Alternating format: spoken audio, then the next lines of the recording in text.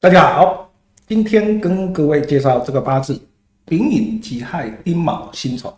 这是一个女命，她是在说呢，这个运呢过得很累很累，这样子呢还能过得下去吗？都快崩溃了。我们来看一下她的这个八字的一个状态，她的本命来讲，天干为丙火生己土，克辛金，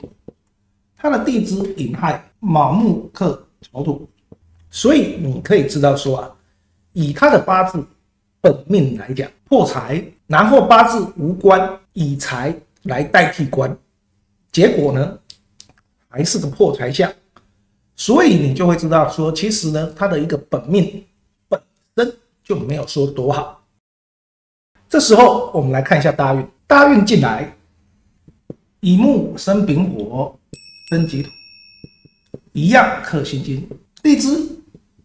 卯木克丑土，多了一个未土，也就是说食伤稍微强一点。可是呢，他的财运、他的官运依旧呢还是很糟糕，所以进入这个运并没有什么实质上的提升。所以啊，在这一种运势下，自然呢他就会过得比较辛苦。然而呢，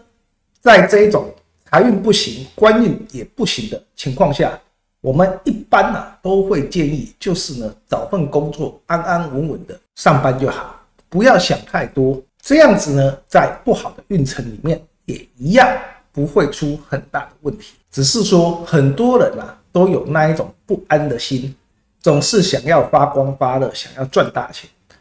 当你有这种心态，结果呢你的运势又没办法配合的时候，你就会像这个人一样，会觉得很辛苦。很累，